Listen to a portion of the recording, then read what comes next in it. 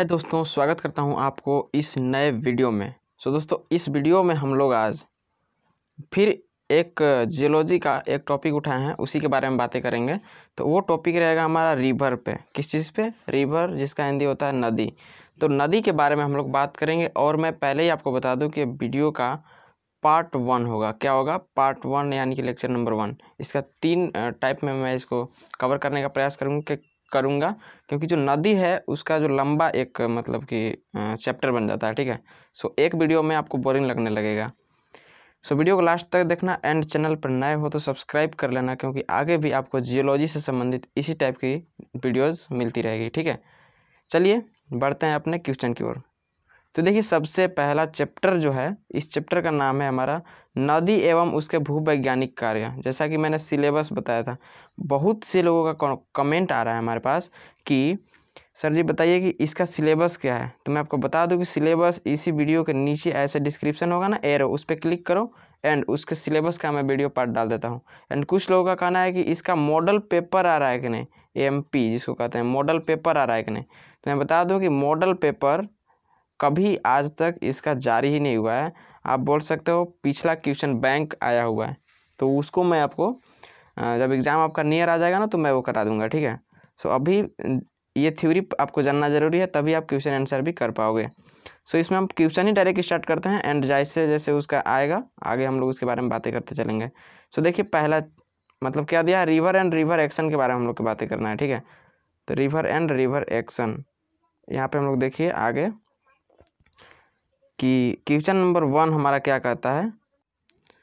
देखिए question number one हमारा कहता है कि नदी के न, नदी के विकास क्रम में नदी या पर्दन चक्र का मतलब वर्णन करना है। सबसे पहले आपको discuss the development of stage of the river पहले पढ़ना होगा।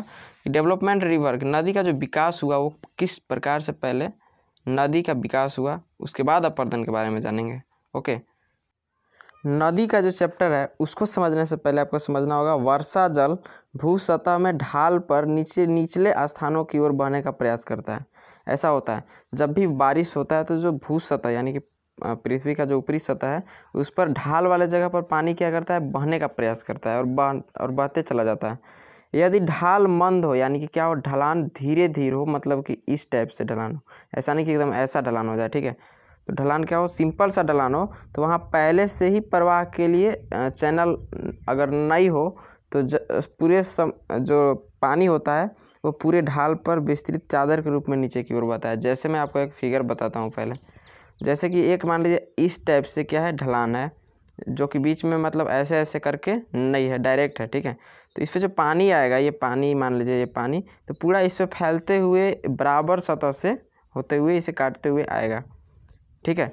उसके बाद क्या होता है कि निचले एक ये बहता है, एक रूप में, चादर के रूप में बहता है। इस प्रकार के बहाव से होने वाले अपर्दन को प्रक्षालन कहते हैं, यानी कि उसको स्लेप वाश बोलेंगे। मतलब कि क्या समझ में आया कि जो सिंपल सा ढलान है, जैसे सड़क होता है ना पूरा बराबर, वैसे ही सड़क जो है पूरा एकदम ढाल टाइप के हो तो उस पर पानी जो है चादर के रूप में बहता है और उस प्रकार से जो अपर्दन होता है, उसे हम लोग प्रक्षालन कहते हैं। क्या कहेंगे? प्रक्षालन या स्लोप वाश कहते हैं। उसके बाद, कुछ समय बाद बहता हुआ जल ढाल की मिट्टी को काट कर प्रवाह के लिए छोटी छोटी अलग अलग ये नाली टाइप के बना देगा। इसे क्षुद्र सरिता या रील्स कहते हैं और अवनलिका कहते हैं, जिसको ग्लीस कहते हैं, ठीक है? इस प्रकार की अनेक छोटी सरिताएँ आपस में मिलकर एक बड़ी सरिता निर्मित करती है।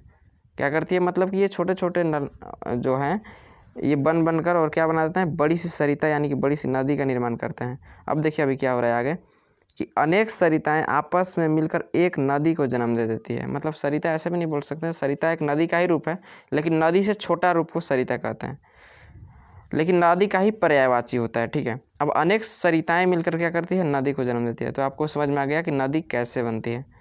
इसके अतिरिक्त कई नदियाँ झीलों से तथा हिमनदों से पिघलने पर भी निर्मित होती है।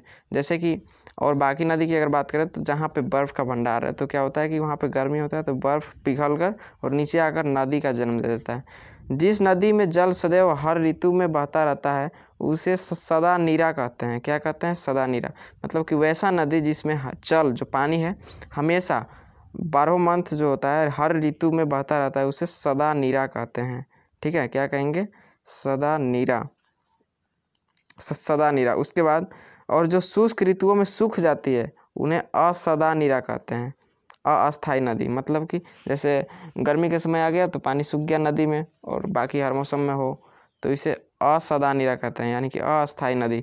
उसके बाद आगे, जिस नदी से होकर बहती है मतलब जो नाली टाइप के बना, उससे होकर बहती है, उसे घाटी कहते हैं। क्या कहते हैं? घाटी। प्रारंभ में यह घाटी अंग्रेज़ी अक्षर भी के समान तथा खड़े नालों वाली होती है। इसके बाद घाटी के पार्श्व कम ढाल वाले हो जाते हैं। अंत में तो घाटी छिछली और चौड़ी हो जाती है। जैसे कि नदी आया ऐसे आ रही है और एक बार ऐसे मुड़ जाती है। तो यू यू या भी आकार कैसे हो जाता है। अब जो इधर वाला जो पोर्शन है, इधर वाला, ये वाला, इस पर कोई इफ़ेक्ट नहीं पड़ेगा क्योंकि पानी का स्पीड जो आ रहा है, इधर आ रहा है, यहाँ पे पड़ रहा है। तो इधर होते होते ऐसे फिर चौड़ा हो जाएगा, ऐसे। ठीक है? उसी चीज़ को यहाँ पे बताया गया है। उसके बाद, अधिकांश नदियाँ अंततः समुद्र में ही प्रवाहित होती है। मतलब कि जो सिंपल, जितना भी नदी है, कहाँ पे जाकर प्रवाहित होती है? समुद्र में बहती है।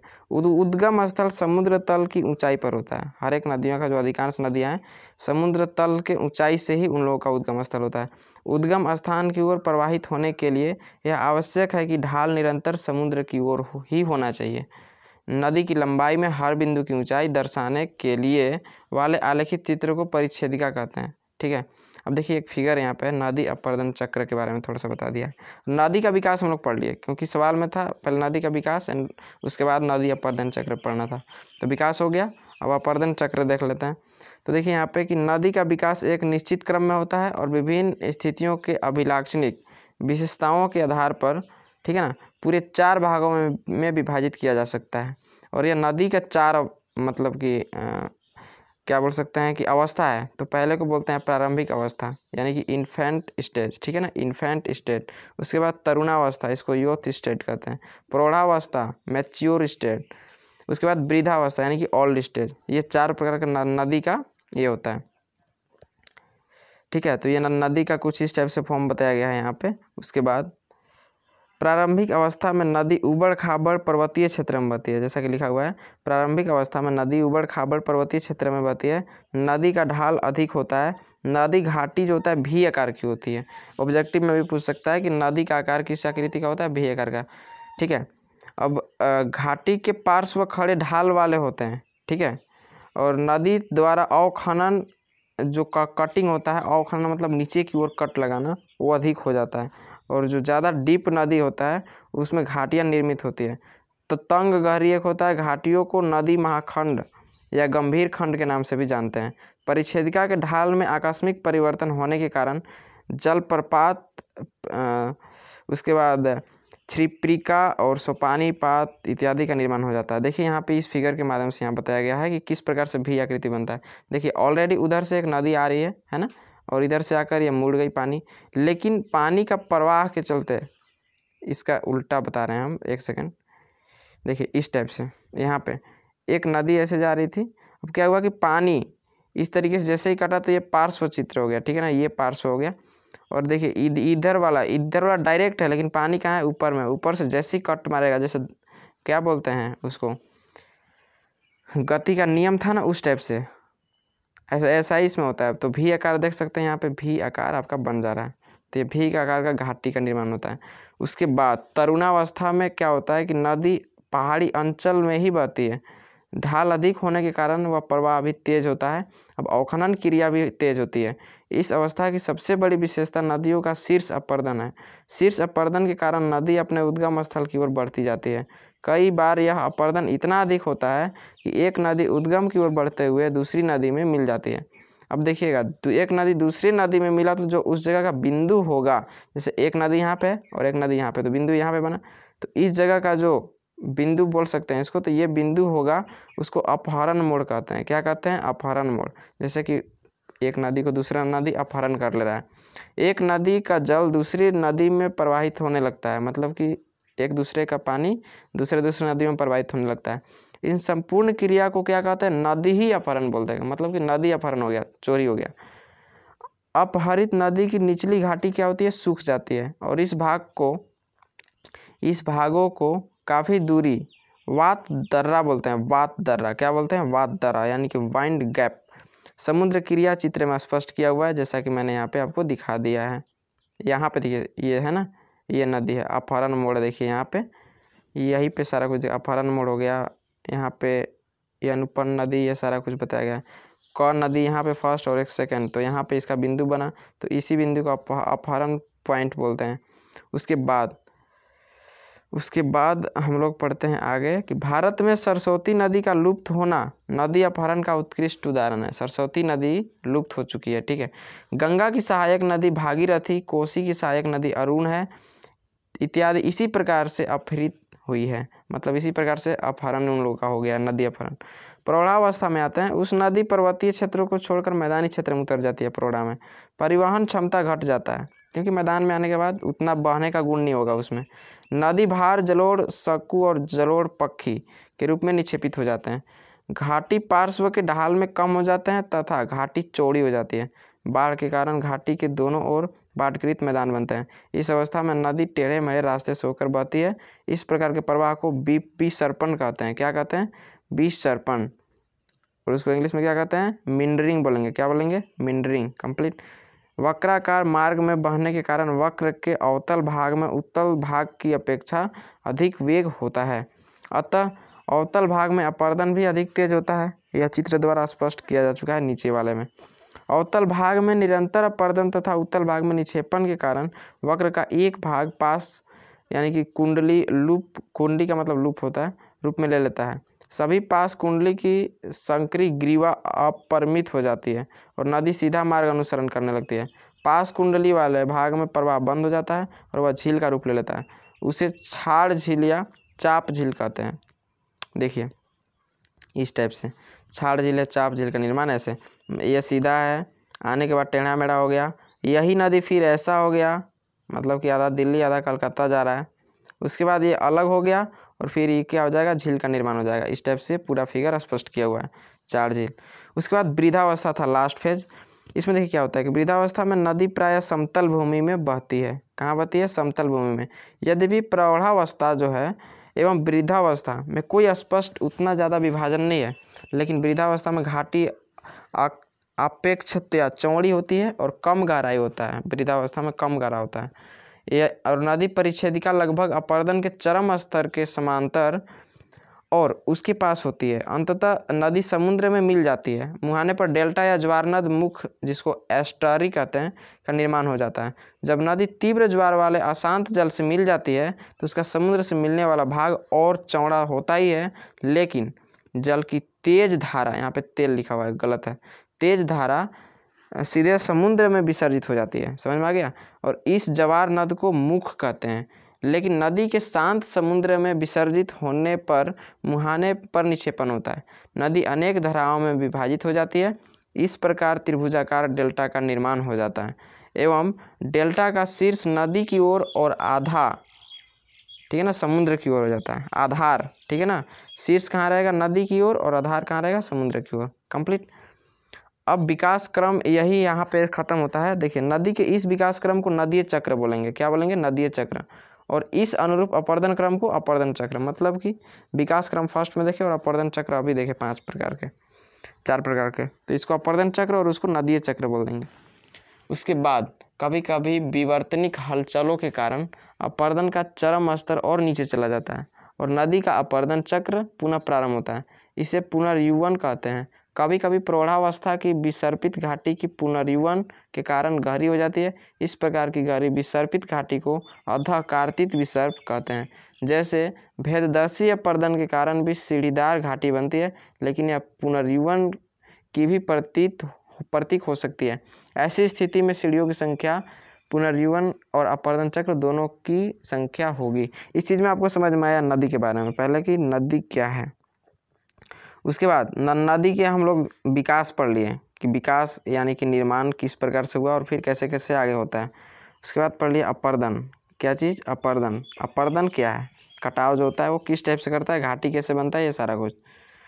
उसके बाद इसमें हम दो दो क्वेश्चन के बारे में ही बात करेंगे। एंड अभी मैं बताता हूँ कि अब इसको आप लोग के पहला क्वेश्चन को मान लीजिए नोट करना है। तो आप लोग बहुत, काफ़ी सारा कॉन्टेक्ट आता है कि इसका पीडीएफ हमें कैसे मिलेगा? पीडीएफ तो पीडीएफ के लिए मैं बता दूँ कि डिस्क्रिप्शन बॉक्स में वहाँ पे इंस्टा का भी आईडी दिया हुआ है एंड व्हाट्सअप कॉन्टैक्ट भी दिया हुआ है। लेकिन आप लोग तो फॉलो करते नहीं हो। कॉन्टैक्ट नहीं सही, कम से कम इंस्टा पे तो फॉलो कर दो। तो यहाँ पे मैं बता दूँ कि अगर पीडीएफ चाहिए तो इस पे व्हाट्सअप करके एंड पीडीएफ सेंड मी आप बोल सकते हो, ठीक है? इस पे। समझ में आ गया? जो कि डिस्क्रिप्शन में भी ये ऑलरेडी मेरा दिया हुआ है कॉन्टैक्ट समझ में आ गया? चलिए। सेकंड सेकंड चीज़ को पढ़ते हैं। क्वेश्चन को, नदी के भूवैज्ञानिक कार्यों का वर्णन करें। अब जो है नदी, वैज्ञानिक तरीके से क्या कार्य करता है? तो नदी प्रवाह की गति तेज क्षेत्र की जलवायु और ढाल की तीव्रता पर निर्भर करती है। क्या करती है? नदी का जो प्रवाह की गति है कितना स्पीड में बढ़ रहा है, वहाँ की जलवायु और उसके ढाल जो जितना था, उस पर डिपेंडेंट है। उसके बाद, नदी के वेग और क्षेत्र में उपस्थित शिलाओं के अनुरूप नदी द्वारा अपर्दन होता है। मतलब कि वहाँ पे किस प्रकार की मिट्टी है, किस प्रकार के पत्थर हैं, उसके अनुरूप नदी का अपर्दन होता है। अपर्दित पदार्थ बह मतलब कि बह कर समुचित स्थितियों में निक्षेपित होता है। इस प्रकार नदी के तीन मुख्य भूवैज्ञानिक कार्य हैं। मतलब कि अब वैज्ञानिक कार्य का भी तीन प्रकार है। पहला, अपर्दन, दूसरा, परिवहन और तीसरा, निक्षेपण। तो पहला चीज़ हम लोग क्या पढ़ना होगा? अपर्दन, उससे पहले यहाँ पे दिया हुआ है। नदी में जल और उसके साथ कुछ सेल खंड कहते हैं। नदी में जल और उसके साथ कुछ सेल होते हैं, उसे खंड, सेल खंड कहते हैं, नहीं बहते हैं, ठीक है? तो क्या होता है, नदी में जल और उसके साथ कुछ पत्थर के टुकड़े इस टाइप से बहते रहते हैं। इनके रासायनिक और बलकृत प्रभाव से नदी घाटी में सेल टूटते और जल द्वारा मतलब बहते रहते हैं। नदी द्वारा अपर्दन की विभिन्न विधियाँ हैं। नदी जल कुछ, जो नदी का जल होता है कुछ सेल एवं उसके खनिजों के साथ रासायनिक क्रिया करके उन्हें घोलने में समर्थ हो जाता है। मतलब कि छोटे छोटे पत्थर के टुकड़े को आपस में भी घोल सकता है और उसमें जो भी खनिज होगा उसे भी घोल सकता है। इस प्रकार रासायनिक रूप से अपघटित पदार्थ जल में विलय होकर बहने लगता है। इस रासायनिक क्रिया को संचारण बोलेंगे। नदी के जल के प्रवाह के कारण नदी घाटी के सेल बलकृत रूप से विघटित होते हैं। इस अपर्दन में, इस अपर्दन को द्रव चालित क्रिया कहते हैं। जल के साथ कुछ सेल खंड भी बहने लगते हैं। यह सेल खंड आपस में तथा घाटी के तल एवं पार्श्व से भी टकराते रहते हैं। आपस में टकरा टकरा कर यह खंड और छोटे होते हैं। इस क्रिया को सन्नी घर्षण कहते हैं। समझ में आ गया? आगे दिया है, इन खंडों के तल और पार्श्व के सेलों से टकराने पर सेल टूटते और उत्खनित हो, होते हैं। इस प्रकार घर्षण द्वारा अपर्दन की क्रिया को अपघर्षण कहते हैं। नदी में जल प्रवाह के समय भौंवर उत्पन्न होती है। क्या होती है? भौंवर इस प्रभाव से जल वृत्ताकार रूप में घूमता है। ये वृत्त घूमते हुए धीरे धीरे आगे बढ़ते हैं। इसको कैसे बोलते हैं? इस टाइप से, ऐसे वाला। जल के वृत्ताकार भ्रमण के साथ ही उसमें उपस्थित सेल, खंड भी तल के सेलों पर वृत्ताकार घूमते हुए टकराते हैं। इनका प्रभाव गहराई के साथ कम होता जाता है। इस प्रकार वृत्ताकार गर्त बनते हैं। ये गर्त नीचे की ओर संकरे होते हैं। इन गर्तों को जलज गर्तिका कहते हैं। जलज गर्तिकाएँ अपघर्षण की ज्वलंत प्रमाण है। इस प्रकार विभिन्न क्रियाओं का से अपर्दन होता है। समझ में आ गया? अपर्दन होने का ये रीजन था। अपर्दित पदार्थ आपस में टकराते हुए बहते रहते हैं। निरंतर प्रवाह पर ये वे गोलाकार और अत्यंत छोटा हो जाएगा। नदी की अपर्दन क्षमता, नदी के वेग, उसमें जो भी बहने वाला जो सेल यानी कि छोटे छोटे पत्थर का टुकड़ा है, वो और कौन सा पदार्थ किस प्रकृति का है, ठोस द्रव गैस क्या है, नदी घाटी में उपस्थित सेलों के संगठन एवं संरचना तथा नदी जल में विद्यमान घोलित पदार्थ की प्रकृति और मात्रा पर निर्भर करता है, जो अपर्दन था, ठीक है? उसके बाद, अपर्दन हो गया हम लोग का, उसके बाद क्या है? परिवहन। तो देखिए थोड़ा सा परिवहन के बारे में यहाँ पे है। देखिए नदी जल में विद्यमान सेलखंड और घुलित पदार्थ को नद भार कहते हैं। मतलब जो जो है उसमें घुला हुआ पदार्थ उसको क्या कहेंगे? नद भार यानी कि स्ट्रीम लोड बोलते हैं। नद भर नद भार जो है नदी में मुख्यतः चार प्रकार से परिवर्तित होता है। प्रथम कुछ पदार्थ घुलित रूप में परिवर्तित होते हैं और दूसरे आकार में आ, दू, दूसरे जो होते हैं छोटे आकार के पदार्थ जल निलंबित रूप से रहते हैं। मतलब कि उतने अच्छे से नहीं होते हैं। उसके साथ आगे बढ़ते हैं। बड़ी साइज़ और अधिक घनत्व वाले पदार्थ नदी, वाहिकाओं के तल पर लुढ़कते हुए आगे चलते हैं। इसके अतिरिक्त जो लास्ट था, चौथी, वो है कि उसमें सेल, कण न तो निरंतर निलंबित रहते हैं और न ही निरंतर लुढ़कते हुए आगे चलते हैं। मतलब चार था, चारों चार जैसा है, ठीक है? इस विधि में सेल, कण उछल उछल कर आगे बढ़ते हैं। इस विधि को उत्परिवर्तन कहते हैं। पहले की छोड़ परिवहन की शेष विधियाँ बलकृत हैं। तथा परिवहन, जल के द्रव चालन प्रभाव के कारण होता है। किस नदी की नदभार परिवहन की क्षमता, जल के परिवहन, जल के द्रव चालन प्रभाव के कारण होता है। किसी नदी की नदभार परिवहन की क्षमता, जल के वेग पर निर्भर करती है। इसी प्रकार परिवहित सेल खंडों की अधिकतम साइज़ भी वेग पर ही निर्भर करता है। नदी का वेग दुगना कर दिया जाए तो नद भार परिवहन क्षमता बत्तीस गुना हो जाएगा। यानी कि जितना भी नदी का जो वेग होता है, स्पीड होता है, उसको दोगुना कर दिया जाए तो क्या हो गया? परिवहन की क्षमता बत्तीस गुना अधिकतम। साइज़ वाले खंड परिवहित नहीं हो पाते हैं। उसके आगे ही कि साइज़ में सबसे छोटे कण अधिकतम दूरी तक प्रवाहित होते हैं। अतः परिवहन दूरी कणों के साइज़ पर काफ़ी ज़्यादा मतलब निर्भर करती है। क्योंकि जितना छोटा चीज़ रहता है, उसको उड़ने में, बहने में बहुत ज़्यादा हेल्प मिलता है। इसी प्रकार गोल आकार वाले कण अधिक सरलता से अधिक दूरी तक परिवहत कर सकते हैं। मतलब कि जैसे एक होता है इस टाइप के पदार्थ और एक होता है गोल तो कौन ज़्यादा स्पीड में प्रवाहित होगा? मामूली सी बात है कि ये ये वाला क्या होगा? मतलब ये वाला ज़्यादा स्पीड में बहेगा और ये नहीं, मुश्किल होगा थोड़ा सा। उसके साथ जबकि को कोणीय कण, यानी कि जैसा कि अभी मैंने बताया, वर्गाकार, वो सरलता से प्रवाहित नहीं हो पाते हैं। अतः नदी में सेल कण का आकार और साइज़ के अनुसार व्यवस्थित होते हैं। इस अवस्था को छटाई कहते हैं। इसके अतिरिक्त परिवहन के साथ साथ छोटे कण और अति गोल हो जाते हैं। मतलब कि ऐसा भी कण रहे वहाँ जाने के बाद गोल कभी भी देखिएगा, नदी का, अगर पत्थर का आपका टुकड़ा मिले तो ये बहुत चिकना रहता है और प्लस में गोलाकार अंडाकार आपको मिलेगा, ताकि उसको परिवहन में आसानी मिले। नदी के वेग में कमी होने से उसकी परिवहन क्षमता घट जाती है। इस प्रकार नद भार का अंश परिवहित नहीं हो पाता है एवं नदी तल पर निक्षेपित होता है। मतलब कि क्या होता है कि परिवहन की क्षमता जब घट जाता है, क्या होता है कि जितने भी पत्थर हैं, नदी के नीचे जो स्थल है, उसी पे निक्षेपित रहते हैं। नदी के वेग में कमी अनेक कारण से हो सकते हैं, लेकिन परिच्छेदिका की प्रवणता की कमी, नदी के जल की आयतन की कमी, नदी के घाटी के आकार में परिवर्तन, नदी पथ में अवरोध इत्यादि प्रमुख कारण है। ठीक है? मैं स्पीड में बोल रहा हूँ, इसका मतलब ये नहीं कि इसको समझाने में आपको प्रॉब्लम है। इसलिए इसको कि जहाँ पे अंडरलाइन कर रहा हूँ, उस चीज़ पे आपका ध्यान जाना चाहिए आवाज़ के साथ साथ। ये मकसद है मेरा। जब नदी पहाड़ी क्षेत्र से निकलकर मैदानी क्षेत्र में प्रवेश करती है तो ढाल की प्रवणता आकस्मिक परिवर्तन पर उसका वेग घट जाता है। जैसे पहाड़ी एरिया से एक बैग मैदानी एरिया में नदी या पानी प्रवेश करती है तो क्या होता है, आकस्मिक तरीके से मतलब अचानक से उसका वेग घट जाता है। अतः परिवहन क्षमता क्या हो जाएगी? घट जाएगी। क्षमता से अधिक उपस्थित पदार्थ अकस्मात शंकु के रूप में निक्षेपित हो जाता है। इन शंकुओं को जलोढ़ शंकु कहते हैं। कम ढाल वाले शंकु चौड़े को जलोढ़ पंखी का नाम दिया गया है। मैदानी हिस्से में वेग इतना कम हो जाता है कि परिवाहित जो पदार्थ है, एक विस्तृत क्षेत्र में निक्षेपित हो जाता है। इस प्रकार निर्मित इस प्रकार निर्मित निक्षेप में नदी की धारा अनेक शाखाओं में विभाजित हो जाती है। ऐसी नदी को ब्रेडेड नदी कहते हैं। कौन सा नदी कहते हैं? ब्रेडेड नदी। उसके बाद बाढ़ आने पर नदी का पानी घाटी की सीमाओं पर पूरे विस्तृत क्षेत्र में होकर प्रवाहित होता है। लेकिन बाढ़ घटने पर पानी का आय, आयतन जो है और वेग दोनों क्या होते हैं? घट जाते हैं। फलतः परिवहित पदार्थ विस्तृत क्षेत्र में निक्षेपित हो जाता है। इस प्रकार निक्षेप जिस क्षेत्र में निर्मित होते हैं उसे बाढ़कृत मैदान कहते हैं और बाढ़ सीमा पर कई पर कई बार नदी के समांतर निक्षेप के मेड़ जैसे आकार बन जाते हैं। तो इन्हें प्राकृतिक तटबंध कहते हैं। क्या कहते हैं? प्राकृतिक तटबंध, यानी कि बाँध जैसा बोल सकते हैं। उसके बाद कितना है? और थोड़ा देख लेते हैं। छोटा सा ही है।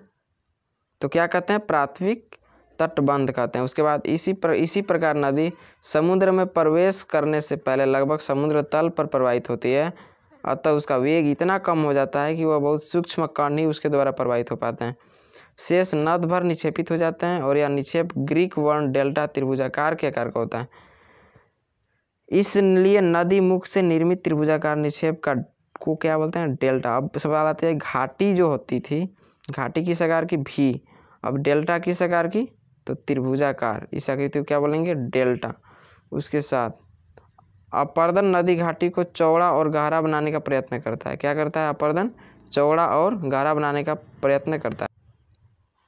अब अपर्दन द्वारा नदी तल के गहरे होने की सीमा है। यह सीमा सामान्यतः समुद्र तल की गहराई पर होती है। इसे अपर्दन का चरम स्थल बोल सकते हैं, यानी कि बेस्ट लेवल ऑफ़ इरोजन। नदी प्रवाह अपर्दन और निक्षेपण के सहारे संतुलन की स्थिति का निर्माण करता है। उस स्थिति में नदी जो है, ठीक है ना परिच्छेदिका का ढाल इतना बड़ा हो जाता है कि समस्त ऊर्जा नदभार के परिवहन में समाप्त हो जाती है और कोई अपर्दन अपर्दन या निक्षेपण नहीं हो पाता है। ऐसी नदी को परवंडित नदी कहते हैं। वैसे इस, इसी, वैसे जो है, इस स्थिति में आने में नदी को बहुत समय लगता है और अनेक भू हलचलों द्वारा नदी प्रवाह के आकस्मिक परिवर्तन के कारण वही स्थिति नहीं पहुँच सकती है। तो दोस्तों, ये रहा ये चैप्टर आज का, ये ख़त्म हो चुका है। एंड एक बार फिर से मैं रिपीट करना चाहता हूँ कि अगर आप इसकी पीडीएफ लेना चाहते हैं तो इस पे कांटेक्ट कर सकते हैं। समझ में आ गया? एंड अगर इस पे प्रॉब्लम है तो आप A M T dot K U M A R dot three five one मेरा इंस्टा आईडी है, सब कुछ स्मॉल में है, ठीक है? आप इस पर एस कर सकते हो, ठीक है? All the best and let's do subscribe my channel